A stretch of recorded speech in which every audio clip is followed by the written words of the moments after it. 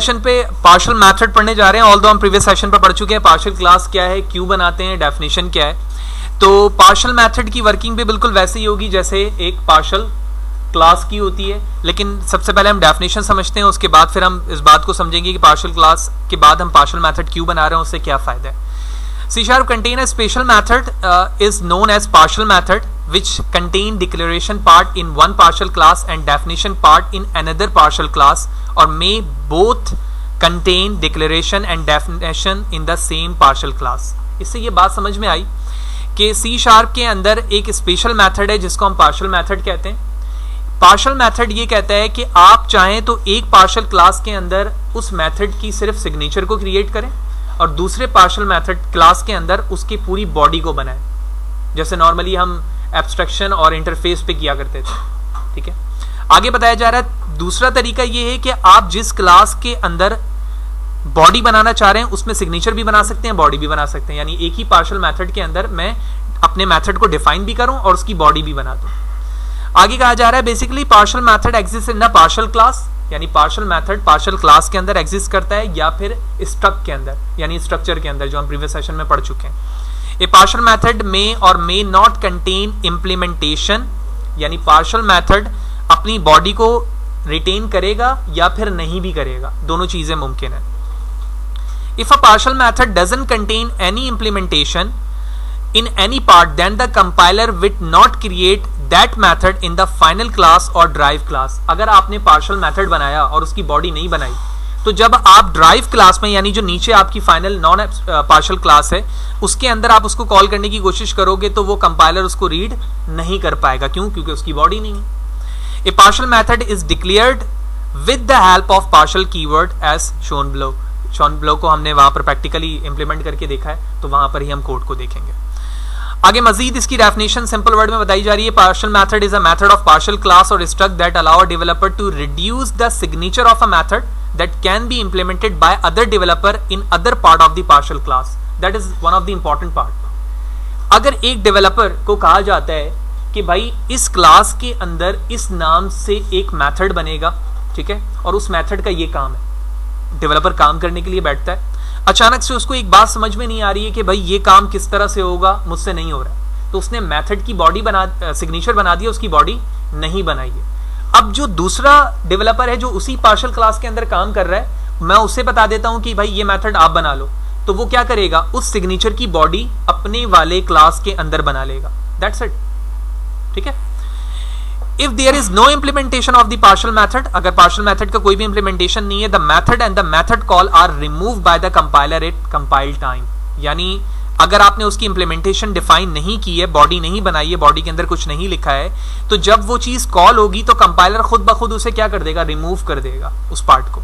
If you are building large class libraries and decide extension of a method to other developer और libraries partial method can be use अगर आप कोई libraries बना रहे हैं या कोई एक्सटेंशन क्रिएट कर रहे हैं तो इसके लिए भी लाइब्रेरीज या पार्शल मैथड का इस्तेमाल होता है और जो हमने ऊपर इस इंपॉर्टेंट पार्ट में डिस्कस कर लिया है कि इसकी क्या वजह है। और हम क्यों बना रहे हैं। कुछ इंपॉर्टेंट पॉइंट है। आ, इसको हमने मेमोराइज करना है कि एक्चुअली ये क्या है और किस चीज़ को डिफाइन कर रहा है। The declaration of the partial method must begin with partial modifier यानी जब आप पार्शियल मेथड बनाएँगे तो पार्शियल मॉडिफायर ज़रूर लिखेंगे। The partial method may contain ref R E F ये एक कीवर्ड है ठीक है जो नॉर्मली हम मेथड के अंदर इस्तेमाल करते हैं रेफ एंड आउट ठीक है। इसी तरह हम एक पैरामीटर पढ़ चुके हैं params P A R A M S ठीक है। तो आप पार्शियल मैथड में भी आर e का इस्तेमाल कर सकते हैं। Partial method doesn't contain out parameter ref कर सकते हैं, लेकिन आउट नहीं कर सकते। It is implicitly private method ये एक प्राइवेट मैथड है इम्प्लिसिट कैन बी स्टैटिक बिल्कुल स्टैटिक हो सकता है। पार्शल मैथड जेनेरिक भी हो सकता है। आगे जाके हम जेनेरिक के हवाले से भी पढ़ेंगे। It it can have only void return type इसमें सिर्फ़ और सिर्फ़ क्या हो सकते हैं भाई? वॉइड रिटर्न टाइप ही हो सकते हैं। A partial method is created only in partial class और इन पार्शल स्टक ये बड़ा इंपॉर्टेंट पॉइंट है, हमें ये भी बात समझ में आ गई कि स्टक भी पार्शल होता है। ठीक है? और ये बात भी समझ में आ गई कि एक पार्शल मेथड एक पार्शल क्लास के अंदर ही क्रिएट हो सकता है या फिर पार्शल स्टक के अंदर क्रिएट हो सकता है। तो डेफिनेशन हमें यहाँ पर समझ में आ गई, हम प्रैक्टिकली वर्किंग की तरफ़ मूव होंगे और यहाँ पर हम आसानी के पास साथ समझते हैं। ये हमारा डिफ़ॉल्ट प्रोग्राम की क्लास होती है, जिसके अंदर मेन मेथड होता है। नीचे मैंने एक क्लास बनाई हुई है, जिसका नाम है क्लास ए ठीक है? आप देख रहे हो क्लास ए के अंदर क्या मौजूद है?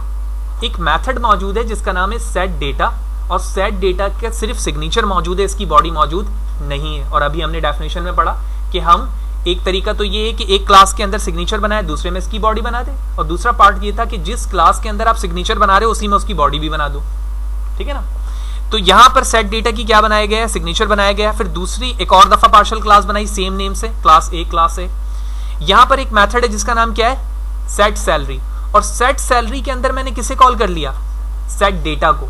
ठीक है? वाजर है, अभी तक सेट डेटा की बॉडी नहीं बनी है। उसी क्लास के नीचे मैंने सेट बॉडी सेट मेथड की क्या बना दी?